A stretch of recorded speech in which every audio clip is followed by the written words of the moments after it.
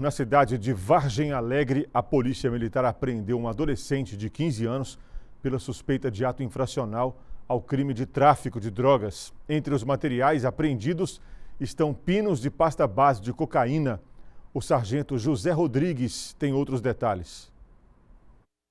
Nesta manhã, deslocamos até a residência de um menor para cumprimento de um mandado de busca e apreensão dele.